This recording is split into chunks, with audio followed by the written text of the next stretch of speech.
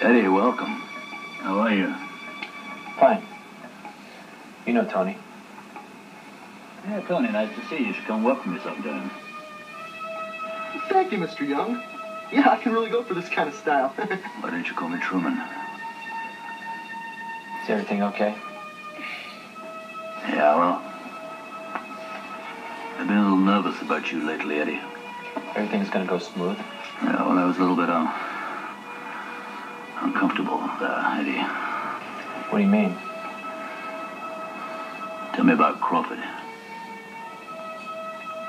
Ah, it's too bad. Suicide and all. But uh, I'll have everything right on schedule.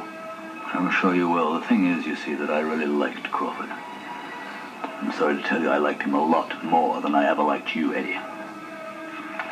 Back off, fuck. Hey, back off, Hey, fuck. shut up, punk. Shove it. Hey, manners, Eddie. What's your fucking manners? You're a psychotic killer, Eddie. Unstable and totally out of control. Luckily for you, I like that. It kind of makes me excited. Plus, my greed tends to make me like society's undesirable characters. Okay, guys, put your toys away. Now get the fuck out of here, both of you. Get out! And by the way, if you're thinking of screwing me, forget about it, because I've learnt a lot more about you you'll ever know. So didn't even think about it. Now get the fuck out of here, both of you. Adios.